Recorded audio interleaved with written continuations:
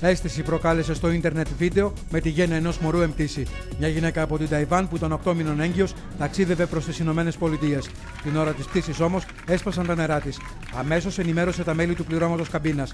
Ευτυχώς μέσα στο αεροπλάνο υπήρχε γιατρός που διαχειρίστηκε το τοκετό.